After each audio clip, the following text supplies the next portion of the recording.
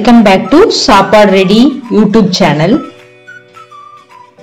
நம்ம இன்னைக்கு ஒரு அரிய வகை மூலிகை செடியை தான் நம்ம பார்க்க போறோம்.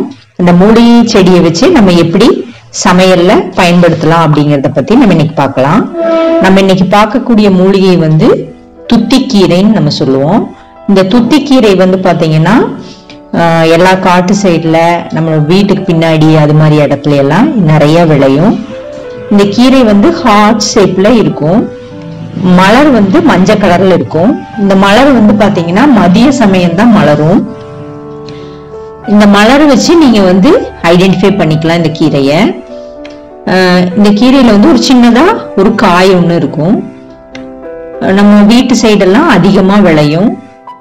இந்த கீரையை வந்து நல்லா பறிச்சுட்டு வந்துட்டு இளம் தளிரான கீரைகளை மட்டும் தண்டு இல்லாம நம்ம எடுத்து வச்சுக்கலாம் தனியா. நல்லா பிஞ்சு தலையா இருக்கிற கீரைகளை தனியா எடுத்துக்கலாம். இந்த கீரை சேர்க்க தேவையான பொருட்கள் வந்து பார்த்தோம்னா பருப்பு நல்லா வேக வச்சு எடுத்து வச்சிருக்கோம்.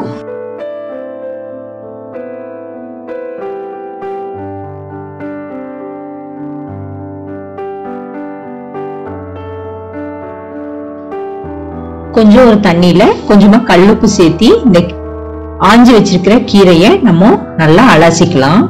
கீரையில வந்து பாத்தீங்கன்னா கல்லுப்பு போட்டு அலசும் போது கீரைக்கு பின்னாடி வந்து சில பூச்சிகள் அது மாதிரி இருக்கும். அதை நல்லா பார்த்து ஒரு ரெண்டு மூணு தடவை நல்லா கழுவி பொடி பண்ணி க- வச்சுக்கோங்க ஒரு சின்ன கடாய் வச்சுக்கோங்க. அதுல வந்துட்டு ஒரு டீஸ்பூன் சீரகம் சேர்த்திக்கலாம். ஒரு டீஸ்பூன் கொத்தமல்லி சேர்த்திக்கோங்க.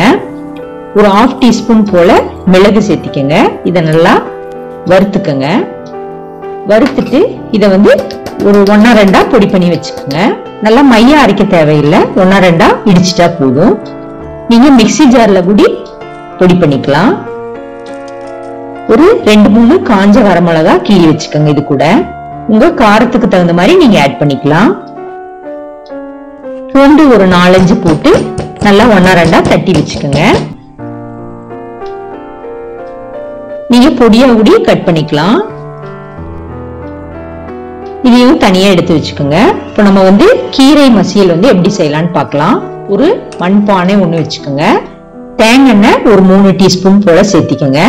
கீரை செய்யும்போது பொதுவாக தேங்காய் யூஸ் பண்ணீங்கன்னா நல்லா டேஸ்ட் கிடைக்கும்.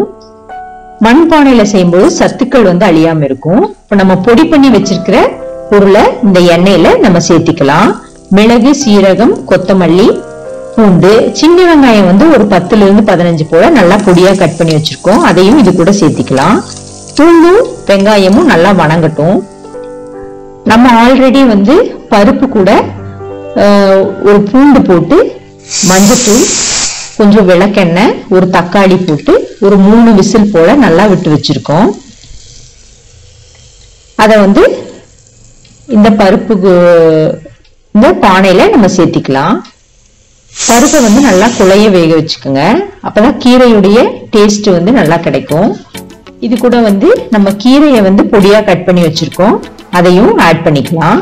கீரை வந்து செய்யும்போது என்னைக்குமே பொதுவா நிறம் வந்து மாறக்கூடாது. பருப்பு ஆல்ரெடி வந்திருக்கங்காட்டி கீரை வந்து ஒரு ஃபைவ் மினிட்ஸ்லயே வெந்துடும் கீரையுடைய நிறம் மாற வேண்டாம். இதற்கு தேவையான அளவு உப்பு சேர்த்திக்கங்க. ஒரு நாலஞ்சு கருவேப்பிலை சேர்த்திக்கங்க. கீரை வந்து ரொம்ப நேரம் வேக வைக்க வேண்டாம்.